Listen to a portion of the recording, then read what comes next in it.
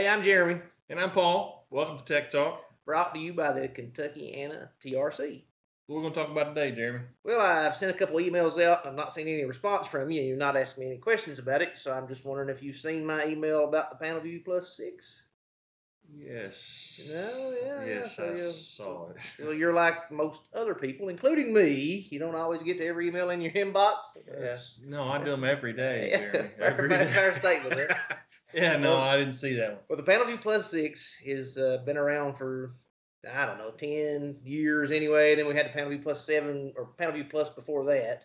And now we've got the Panel View Plus 7's been out for a couple years. And it's going to replace the 6 because the 6 is going obsolete in September 2021. September 2021. That's Yep. not that far away. Oh, a little over a year, so I mean, it'll creep up on us pretty quick. All right, so they did a really good job. Rockwell did a really good job on the PanelView Plus standards to PanelView Pluses. I remember that. Yeah, well, you also remember the pain in the butt it was if you went to a 32 bit to a 64 bit. Oh, yeah, you had to have two different computers, Yeah. and yeah, it was So a pain. we don't have to deal with that anymore. Even if you go from Oh. all the way back from a standard panel view plus to a panel view plus six to a seven, that migration is goes away. So you can migrate from a plus plus six to a plus seven and don't have to worry about the 32 bit or the 64 bit Oh, problem. well, that's handy. That's Yeah. handy. So, is it something you can show us how to do? Oh yeah, it's easy, man. So it still uses FactoryTalk View ME as long as you've got your original file. We just open it up and it'll do a conversion for you, and it happens almost automagically. Automatically. Automagically. Did you yeah. key that phrase? well, no, I might have stole it from a Rockwell guy. I don't remember who you were, but I appreciate it. Yeah. so, All uh, right, so so you think you can show us? yep, let's roll. I'll All show right, you right so now. we're gonna take a look at that, see how well it goes, and then uh, we'll be back. So if we're going to convert our Panel View Plus 6 project over to a 7, the first thing we'll have, that's the MER runtime file. And we're going to open FactoryTalk View ME Application Manager. So Application Manager do a lot, but on this one, we're going to restore the runtime application. So that's the one we've got on our desktop. So we'll go find that as a Panel View Plus 6 demo because we've lost the working APA file. And you can see the last time we did it, it was in version 6. Don't have a password.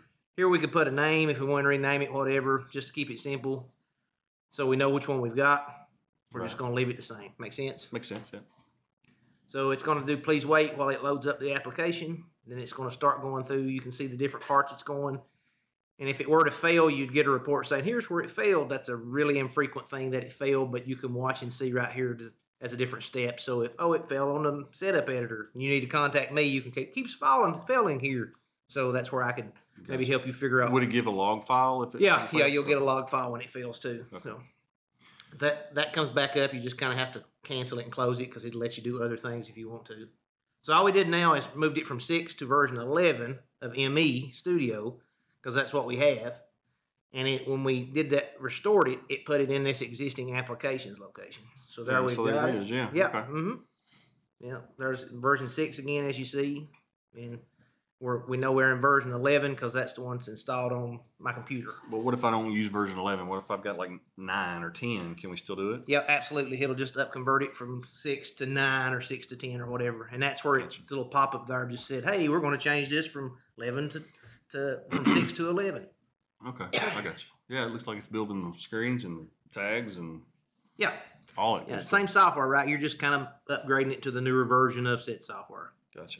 So you the different things, it's graphics display. I mean, this looks a lot like the six you were working in. Right. This is just version 11 of it.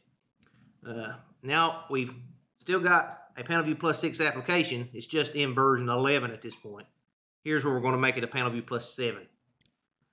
Oh, okay. So we got to change the actual hardware Yeah, piece inside here too. correct. So we're going to pick a 7 performance and 800 by 600, 800 by 600. So we'll keep that same layout. Okay. for the- Same resolution. Same for the graphics. And it's a performance model versus a standard on the radio buttons. And if I had a standard, I could have just picked standard. Just pick standard. Okay. And But you've got probably too many screens for a standard, but it would have bonked at you if you couldn't have done it right. Gotcha. And Well, yeah. it's you- easy peasy.